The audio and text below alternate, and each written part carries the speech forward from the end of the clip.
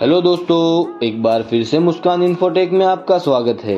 तो दोस्तों, आज मैं आपके लिए लेकर आया हूँ आईपैड जो आईपैड है फिफ्थ जनरेशन में होगा और साथ ही आपको स्टोरेज मिलने वाली है one twenty eight G B और दोस्तों प्राइस की मैं बात करूँ तो सिर्फ़ और सिर्फ़ सोलह हज़ार रुपये में आईपैड आपको मिलेगा।